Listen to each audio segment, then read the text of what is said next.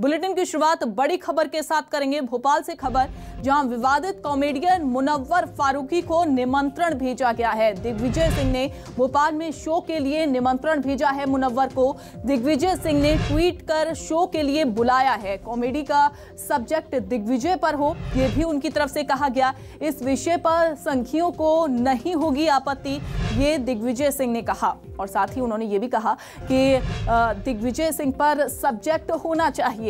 दिग्विजय की ओर से ये कहा गया है, ट्वीट किया गया है और शो के लिए आमंत्रण जो आमंत्रण है वो भेजा गया है। फारूखी पर हिंदू देवी देवताओं के अपमान का आरोप था। इंदौर में एक शो के दौरान विवादित टिप्पणी का भी आरोप फारूखी पर लग चुका है।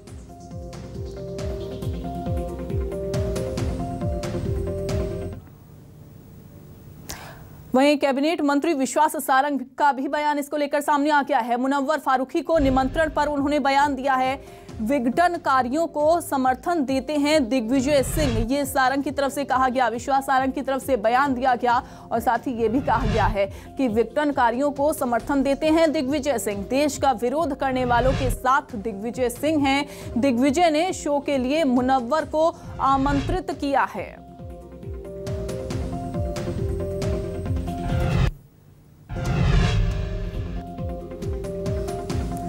तो कैबिनेट मंत्री विश्वास सारंग ने बयान दिया और कहा कि मुनव्वर फारूकी को जिस तरीके से दिग्विजय सिंह ने आमंत्रण भेजा है, उसको लेकर उन्होंने बयान दिया कि विघटनकारियों को समर्थन देते हैं दिग्विजय सिंह। आपको बता दें कि भोपाल में शो के लिए आमंत्रण भेजा है ट्वीट के ज़रिए मुनव्वर फारूकी को, लेकिन उन्होंने ये भी कहा कि उनका जो सब्जेक्ट होना चाहिए, वो दिग्विजय होना चाहिए। और शब्बीर का रुख करते हैं हमारे संवाददाता जुड़ गए हैं। शब्बीर मुनव्वर फारूकी किस तरीके से विवादों के घेरे में रहे हैं ये हम सभी को पता है लेकिन दिग्विजय सिंह ने शो के लिए आमंत्रण भेज डाला।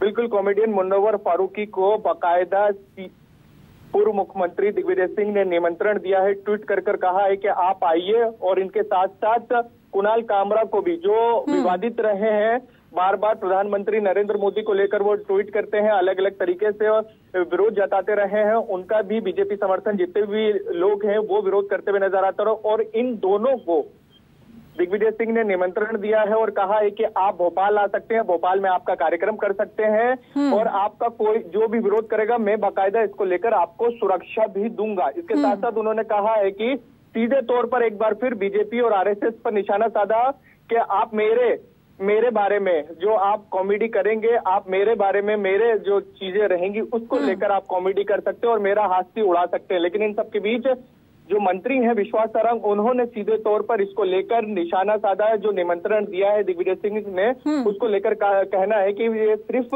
दिग्विजय सिंह उन्हीं लोगों का समर्थन करते हैं हमेशा से लेकिन तो क्या कांग्रेस इसका समर्थन करेगी? क्योंकि लगातार विरोध तो इसका हो रहा है। इंदौर में पिछली दफ़ा जब इस तरीके की जो कॉमेडी की गई हिंदू देवी देवताओं का अपमान किया गया मुनव्वर फारूकी के द्वारा तो क्या अब कांग्रेस इसका समर्थन करती हुई दिखाई देगी? देखिए बिल्कुल आपने सही कहा कि विवाद की जो शुरुआत हुई थी मुनव्वर फारूकी की वो इंदौर ही रही है मध्य प्रदेश ही उसकी जगह रही है। इंदौर में उन्होंने एक कार्यक्रम कराया था जहाँ पर इंदौर की विधायक है मालिनी गोड़ उनके बेटे हैं एकलव्य गोड़ वो एक कार्यक्रम में पहुँचे थे और वहाँ पर काफ़ी हंगामा हुआ था और सीधे तौर पर उनके ऊपर आरोप लगे थे कि उन्होंने कार्यक्रम में हिंदू देवता देवी देवताओं का मज़ाक उड़ाया उसके बाद केस भी दर्ज किया गया और मामला कोर्ट तक पहुँचा, कानूनी कार्रवाई हुई और उसके बाद लंबे समय के बाद वो जेल से छूटे थे और उसके बाद कई कार्यक्रम उनके ऑर्गेनाइज किए गए पूरे देश भर में। लेकिन हिंदू कार्यकर्ताओं, हिंदुवादी संगठनों द्वारा अलग अलग संगठनों द्वारा उनके कार्यक्रम का विरोध किया और उनके कार्यक्रम एक के बाद एक टलते भी रहे और इसके बाद उन्होंने कुछ दिन पहले मुनव्वर फारूकी ने बकायदा एक ट्वीट भी दिया था कि हाँ, मैं हार गया हूँ कट्टरता बिल्कुल। जीत गई है। और उन सबके बीच दिग्विजय सिंह का ट्वीट तो ये कह सकते हैं कि कांग्रेस अब इस पूरे मुद्दे पर बैकफुट पर नज़र आ, आती हुई नज़र आएगी क्योंकि हमेशा लेकिन लेकिन भले ही बैकफुट पर आती हुई नज़र आए लेकिन यहाँ विश्वास सारंग की सारंग की तरफ़ से ज़रूर यहाँ पलटवार दिग्विजय पर किया गया है। उनके ट्वीट पर ज़रूर किया गया है शब्बीर। शब्बीर आप बने रहिए हमारे साथ। आगे भी खबरों में आपसे अपडेट लेंगे।